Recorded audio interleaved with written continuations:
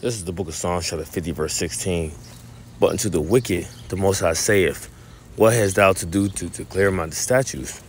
Or that thou shouldest take my covenant in thy mouth, seeing thou hatest instruction and castest my words behind thee. I want to give all praise, honor, and glory to Yahweh, Ba'ashem Yahushai, Ba'ashem Harakakadash. Double honors to the apostles and elders, a great millstone. Peace and salutations to the whole free elect. Coming to another lesson through the spirit and power of Yahweh, Ba'ashem Yahushai. in E, which is Esau Edom, the so-called white man that the Bible speaks of, because that's his true nationality. That's his true identity, according to the Most High, which he tries to hide behind all these different titles, such as, you know, uh, white, okay, American, Australian, know, all these different titles, because he was trying to run away from his true nationality, okay, which they would be the biblical Edomites. But jumping back to the point, see, E has used the Bible for his benefit. He used the Bible to benefit him. And that's see these he does what he always have done. He don't truly believe in the holy scriptures, but he has used it as a weapon to his advantage. And he used it against who? The people the book belongs to, which are you so-called Negroes, Latinos, Native Americans. You it belongs to you biblical Israelites, by the way. And he knows this. He knows this. That's why he's able to use the scriptures, manipulate them, especially because you people, you know, you don't have no understanding. You don't know what the hell is going on. And he has used the scriptures, twisted it and turned it to, you know, his interpretation, you know, you know, uh, and breaking the breakdowns the way that he wanted to be taught. So now when you see the men of the Lord, the servants, the prophets, out there on the highways and byways, standing in great boldness, teaching the true word of Yahweh Bashim Yahushai, you people get offended, right? You still holding on to that Stockholm syndrome of the traditions of men, okay, the philosophies and, and the false breakdowns that he has always put forth throughout the earth. But you don't realize that this man is the devil. That he is the complete deceiver upon the planet Earth. And that he has used the scriptures as a weapon to benefit him, okay?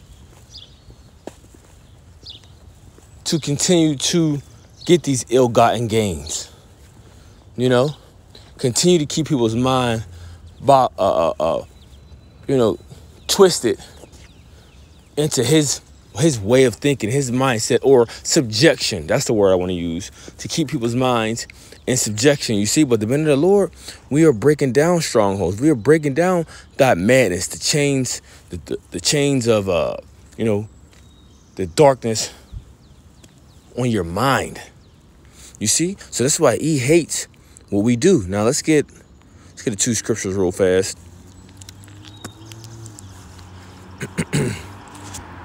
The book of Colossians, chapter 2, verse 8.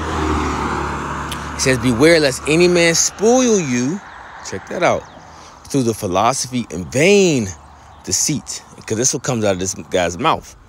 Okay? Vain deceit.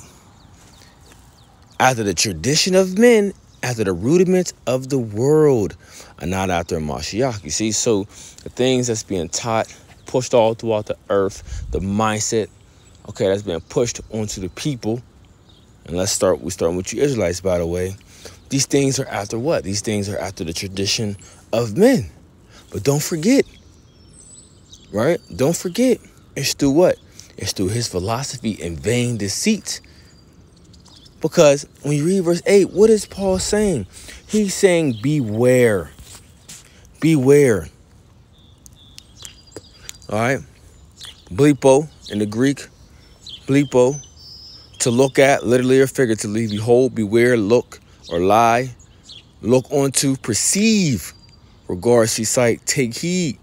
And Jake, you're not taking heed. You're not taking heed to the men of the Lord, the servants, the prophet. You're not taking heed, and you don't have the discernment enough to know that this man is the devil.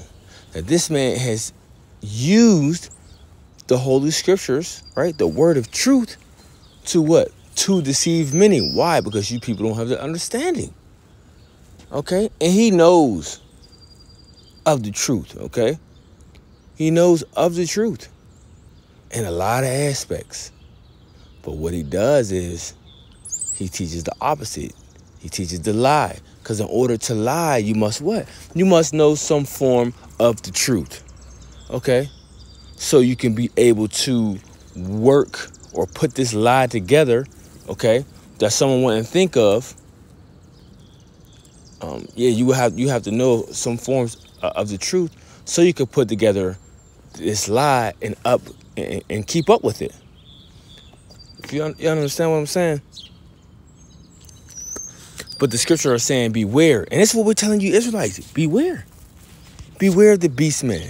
Beware of the basest man of the earth. Because he is the complete devil. And you're going to see. You're going to see. Um, I mentioned this. Let's go to the book of Isaiah chapter 25 verse 7 it says, And he will destroy in this mountain the face of the covering cast over all people. So what you see happening within this system, within this, you know, this this government, this rulership of Esau, his uh, you know, is being destroyed through the spirit and power of Yahweh Shemi Shai.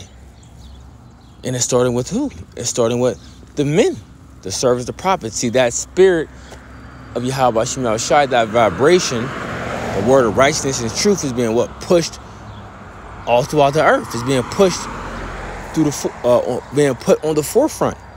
You know, Israelites everywhere. Israelites standing up and preaching everywhere. You know, now, granted, you got a lot of Israelites to make teach off doctrine, which I'm saying that's it's not okay. But they're teaching Israel that they're Israel. They're cussing out this this devil. You know, telling him He's the devil that the Bible speaks of. They're telling all these other nations that they're going into subjection and that the Israelites will be that ruling class of people once again. We're telling these people that Yahweh Shai, our Lord and Savior, who the world they call Jesus Christ, is on is making his return. We're telling people that the Most High God, whom they put in a box, whom they, you know, uh, tried to make it seem like you know his characteristics is just love and mercy. We're telling them that when you read the book of Exodus, chapter 15, verse 3, what it says, the Lord is a man of war. You see? So this narrative that's being pushed that he's, you know, he's soft and, you know, uh, he just has just merciful traits. They leave out the judgment and his harshness, you know, of the destruction that he's bringing upon the planet Earth. You see, that's just to name of a few things. See, we are breaking down that covering cast. You know? So says, and he will destroy in this mountain the face of the covering cast over all people, in the veil that is spread over all nations. So a veil is something you cover up with. And he, he has done a beautiful job of covering up his bullshit. You know, but that is being destroyed through the spirit and power of Yahweh Shai. You see? Now, part of this covering cast, part of this veil that is spread upon over all nations is I always mention, I always go back to of his lies, his deceit. And that is being broken. This you're witnessing that being broken down. So when you see different brothers' videos being cut off left and right, why? Because he's trying to he's trying to upkeep with this lie that he has pushed all throughout the planet Earth, this narrative. But now it's at the point where you got the Egyptian versus Egyptian, the Edomites versus the Edomites. You see, truth being revealed. The Lord putting it on people's spirit, uh, Edomite spirit, to, to reveal this devil and who he is. You see?